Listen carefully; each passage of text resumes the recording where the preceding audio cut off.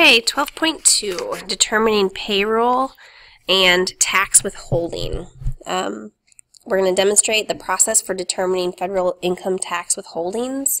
We're going to demonstrate the process for calculating Social Security and Medicare taxes, and then explain the benefit of funding medical and retirement plans with pre-tax contributions. Um, first of all, payroll taxes. Taxes based on the payroll of a business are called payroll taxes. It's very important that accurate and detailed payroll records must be maintained. Any errors in payroll records could cause incorrect payroll tax payments. Government agencies could assess penalties for failure to pay correct payroll taxes when they are due. And then payroll taxes withheld represent liabilities for the employer until payments are made to their respective government agencies. Pause there for a second. A company hires workers. They pay those workers, you know, a certain wage or salary, and then companies are required to withhold money from the employees as taxes and then pay it to the government. When the employers withhold this money, in their books, it's considered a liability. They're holding this money and they're just holding on to it until it's due to the government. Um, that's why it represents a liability for the employer until they pay the respective government agencies. A deduction from total earnings for each person legally supported by a taxpayer, including the employee, is called a withholding allowance. Um, if you have a part-time job or you've ever had a part-time job, you've had to fill out a W-2 or W-4 form, which is an employee's withholding allowance. So as an employee, you um, fill this out so that the company can guess how much to withhold from their from your pay. Um, it's just a guess until you actually file taxes. But when you fill out this um, withholding allowance certificate called the W-4 form, um, you fill this out saying, you know, I'm single or I'm a family of four. And right here it says the larger the number of allowances, which are dependents, which are people in your family, the larger number claimed, the smaller amount of money that your company is going to withhold. Um, so you're single, you just have a single dependent, they're going to hold more money. If you have more dependents or a larger family, they're going to withhold less money. Some employees are exempt of withholdings, such as low income or part-time employees. They may not, the company may not withhold any money from them. Continuing on, any amount withheld from an employee, employee's gross earnings is called a payroll deduction. Examples of payroll deductions are federal income tax, retirement plan contributions, health care savings plans, charitable contributions. It's all going to get withheld from your pay.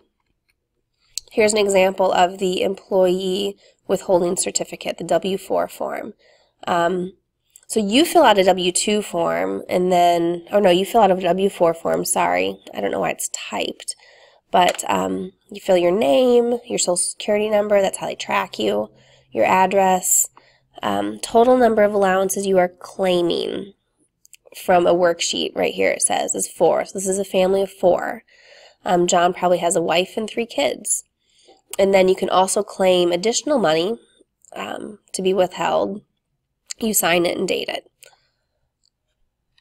Here it says I claim an exemption from withholding and I certify I meet both of the following conditions for exemption. Last year I had a right to a refund all federal income tax withheld because I had no tax liability.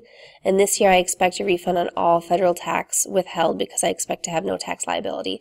Usually that's for low income if they're not making a ton of money.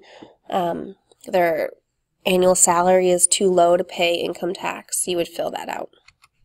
Oh, goodness. There we go. Um, uh, here we have an employee income tax withholding sheet. So the wages are at least this much, but less than this much. Um, oops. So these are single person, semi-monthly payroll period for wages paid through December. An example. Another example for married person semi-monthly payroll period, um, if the wages are at least you know, here we have $1,460 semi-monthly, um, but less than 1480 so in between these two. And you have four people, that's what you're holding. They're going to um, withhold $29 per pay period from your pay.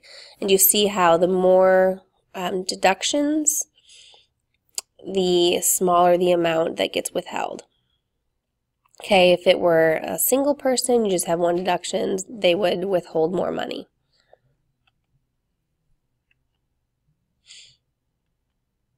There we go. All right, employee Social Security and Medicare tax. FICA, a federal tax paid for old age survivors and disability insurance is called Social Security tax. A federal tax paid for hospital insurance is called Medicare tax. Social Security and Medicare are paid by are paid by both employees and employers, the same amount for each. We pay it and they pay it. Self-employed employees must pay both of these taxes themselves. Ouch. The total gross earnings um, year to date for an employee is called the accumulated earnings. The maximum amount of earnings on which a tax is calculated is called a tax base. Um, when the amount of accumulated earnings equals the tax base, no additional taxes must be paid. Congress sets the tax base and the tax rates for Social Security tax. An act of Congress can change the tax base and tax rate at any time. The Social Security tax rate and base used in this text are 6.2% of earnings up to a maximum of $106,800 in each calendar year. Um, that was a little blurb on tax base. and we talked about that. Medicare tax does not have a tax base.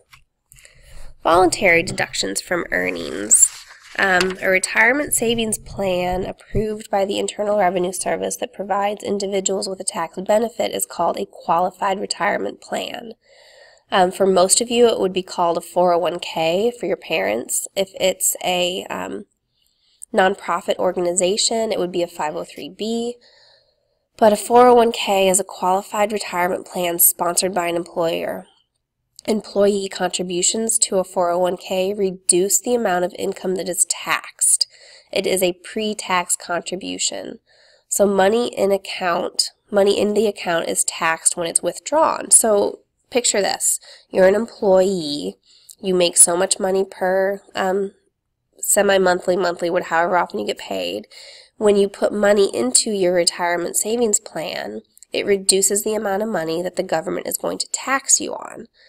Um, so that money gets taken out of your pay, put into a savings plan, and it has not been taxed yet. So that money sits there until you retire, and it it gets taxed when you withdraw it, when you use it. Um, a lot of employers, as a benefit, match their employees' contributions. So say you put in 2% of your pay, they're going to match that 2% and give you some more money because it's a benefit um, to you working for them um, as an aside, like as soon as you start working, start putting into your 401k, especially if your employer is matching because it's free money. An individual retirement account, an IRA, is a qualified retirement plan that provides most individuals with a deferred federal income tax benefit. A Roth um, IRA is a qualified retirement plan that allows tax-free withdrawals from the account. So on a Roth IRA, you pay taxes on the money first, and then um, it goes into the savings plan, and then when you withdraw it, you don't pay taxes again. Benefit on pre-tax contributions can be significant. Take advantage of lowering the amount of earnings the government can tax you on. Audit your understanding. Where does an employer get the information used to determine the amount of federal income tax to withhold from employees' earnings? um, your Form W-4. You fill it out when you start working for a company. Employee federal income tax withholdings are based on what two factors? Your marital status and the number of withholding allowances. Does the employer or employee pay Social Security tax and Medicare tax? Both. They both do. And if you're self-employed, you pay them both.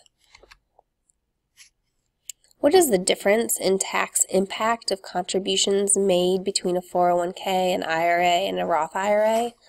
Remember this one? It reduces the amount of money that you get taxed. You um, put it into a savings before they tax it. So when you withdraw it from the account, then you get taxed. Um, an IRA are, and that's the same, sorry, both of these, the 401k and the IRA, are deducted from earnings before payroll taxes are calculated. The Roth, they're deducted from earnings after payroll taxes are calculated. So you pay taxes on money that you put into a Roth account. But then when you take it out of the Roth account, you don't pay taxes again. Are withdrawals from a 401k, an IRA, and a Roth IRA subject to income tax? Well, we just answered that. Withdrawals from the 401k and the IRA are subject to income taxes. Withdrawals from the Roth are tax-free. Okay, 401k and IRA, um, they're subject subject to income taxes because they went into the savings account before you pay taxes on them. The Roth is not subject to taxes because you paid taxes on it before you put it in. So you'll never have to pay, pay taxes on things twice. And that's it.